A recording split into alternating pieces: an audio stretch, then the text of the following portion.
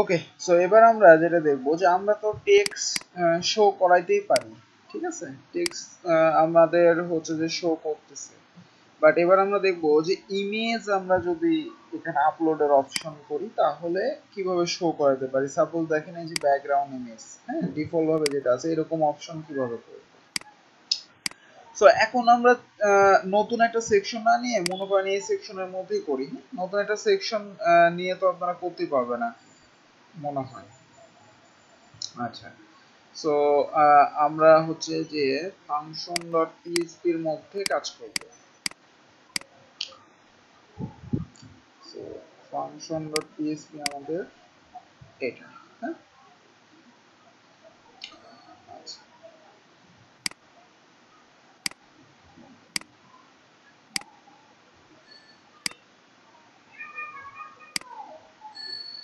ঠিক আছে।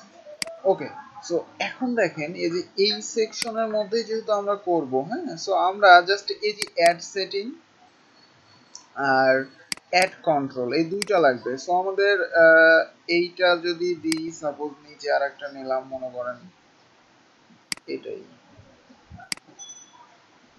এখানে লিখেন হচ্ছে যে আপলোড ইমেজ আচ্ছা আর এখানে ডিফল্ট ভাবে আপাতত কিছু দেওয়ার দরকার নাই, এটাই থাকুক হ্যাঁ? এখন কন্ট্রোলে দেখেন কন্ট্রোলে আমরা এভাবে সেকশন লিখছিলাম, তারপরে হচ্ছে লেভেল টাইপ টেক্স আসলে লোগো আপলোডে বা ইমেজ আপলোডের জন্য আপনাদের কিন্তু টাইপ এভাবে হবে না হ্যাঁ? আপনি যদি একটু গুগলে সার্চ দেন, যে কাস্টমাইজ যার ইমেজ কন্ট্রোল তাহলে আপনি এই যে এইভাবে ইমেজ কীভাবে আপলোড করবেন, সেটার একটা অপশন পাবেন। দেখেন, এই যে ডাব্লিউপি কাস্টমাইজ অবজেক্ট থেকে অ্যাড কন্ট্রোল করছে, দিয়ে একটা ক্লাস দেখেন এখানে ডিফাইন করছে। নাম হচ্ছে ডাব্লিউপি কাস্টমাইজ ইমেজ কন্ট্রোল ঠিক আছে? এখানে তিনটা প্যারামিটার হয়। প্রথমে অবজেক্টটার নাম, তারপরে হচ্ছে আইডি তারপরে অ্যারে হয়। অ্যারের মধ্যে লেভেল দিতে হয়। তারপরে সেকশনের নাম, তারপরে সেটিং তারপরে কনটেক্স ঠিক আছে? সো আমাদের সেম ভাবে এটা ইউজ করতে হবে। সো আমরা এটা ইউজ করি। ওকে সো আমাদের ডাব্লিউপি কাস্টমাইজ এটাই ঠিক আছে অবজেক্ট সমস্যা নাই। এখন এই যে আপলোড ইমেজ এটা দেন এখানে। ওকে আর আমাদের সেকশনের নামটা কি? এই যে হেডার সেকশনে যে এটা অ্যাড হবে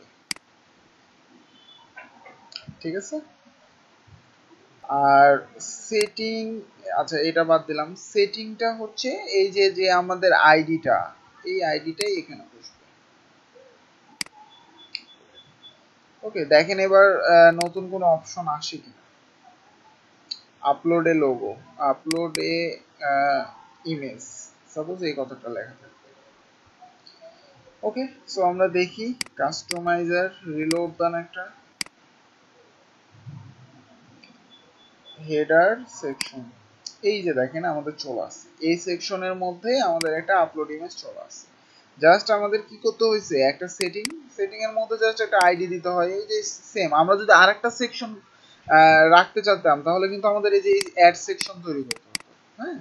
বাট আমরা যেহেতু অ্যাড সেকশন আমাদের এই সেকশনের মধ্যে আমরা রাখতে যাচ্ছি, তাহলে অ্যাড সেটিং আর অ্যাড কন্ট্রোল আর ইমেজের জন্য আমাদের এই যে এক্সট্রা একটা ক্লাস ইউজ করতে হবে। ডাব্লিউপি কাস্টমাইজ ইমেজ কন্ট্রোল তার মধ্যে প্রথমে অবজেক্টটা দিতে হবে অবজেক্ট বলতেই যে এটা হ্যাঁ? তারপরে আইডিটা সো আইডিটা তারপরে অ্যাড এর মধ্যে লেভেল আমাদের লেখা, তারপর সেকশন আমি কোন সেকশন অ্যাড করতে যাচ্ছি সো আমাদের এই যে হেডার সেকশন নামের একটা এই সেকশন বানানোই আছে। সো এই সেকশনে অ্যাড করতে যাচ্ছি তারপরে সেটিং সেটিং এর মধ্যে আমাদের সেম ভাবে আইডিটা দিতে হবে। তাহলেই দেখবেন যে চলে আসছে। আপনার ইমেজ আপলোড করার অপশন ওকে সো এখন আমরা এখানে ইমেজ দিতে পারব চুজ করে দিতে পারব সাপোজ এটা। দেখেন, থাকে, থেকে যাচ্ছে। এখন আমাদের শো করাইতে হবে, তাই না? এখানে শো করাইতে হবে। ওকে সো শো করার জন্য আমরা সাপোজ মনে করেন এই যে ইন্ডেক্স ডট পিএসপি এর এটার বাইরেই আমরা শুধু শো করাই। সো আইএমজি এর মাধ্যমে আমরা জানি যে ইমেজ নিয়ে আসতে হয়। এবার এটার মধ্যে আমরা কি করব? জাস্ট একই নিয়ম, একই। Get theme mod echo get mod then আমাদের আইডিটা ওকে সো আমাদের এটার আইডির জন্য এই যে আপলোড ইমেজ ঠিক আছে? সো এবার একটু দেখি যে আমাদের কাজ করে কিনা। রিলোড দেন কোনো কিছু শো করতেছে? এখানে দেখেন যে ইমেজ নাই। কারণ আমি সেভ দিই নাই হ্যাঁ? সো এবার নতুন একটা ইমেজ আপলোড করেন। এই যে, কাজ করতেছে। ইমেজ কিন্তু শো করতেছে হ্যাঁ? আমি যদি চেঞ্জ করি, সাথে সাথে রিফ্রেশ দেখাবে আপনাকে। ঠিক আছে? সো ইমেজ কীভাবে নিয়ে আসতে হয় ফিল্ড তৈরি করতে হয়, কীভাবে শো করাতে হয়, সেইটাও আমি দেখাই দিলাম ওকে